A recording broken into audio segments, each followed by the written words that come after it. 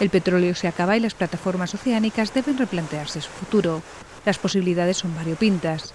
Una veintena de entidades europeas se han unido en el llamado Proyecto Tropos, que diseñará tres prototipos de nuevas plataformas en alta mar basados en la acuicultura, las energías renovables y el turismo.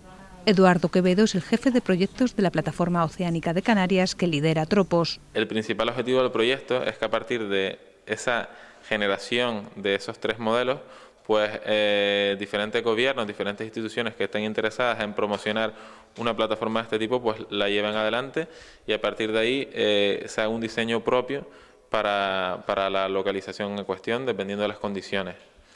Estudios de nuevos usos ya hay, especialmente relacionados con las renovables. En el Mar del Norte se está trabajando en la energía eólica mar adentro y en la generada por la propia corriente marina.